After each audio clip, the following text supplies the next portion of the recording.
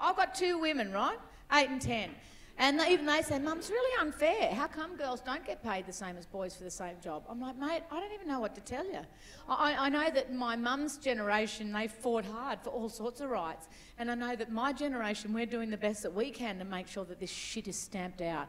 And then I know that by the time you guys get there, you're going to be making amazing differences as well. But the most important thing to remember is that we need more money.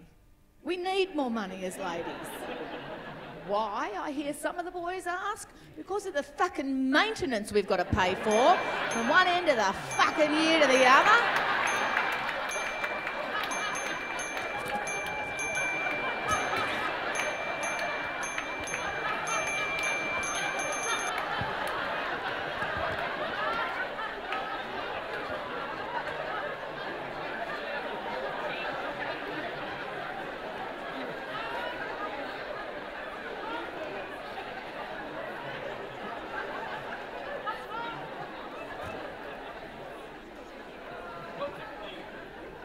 Expensive.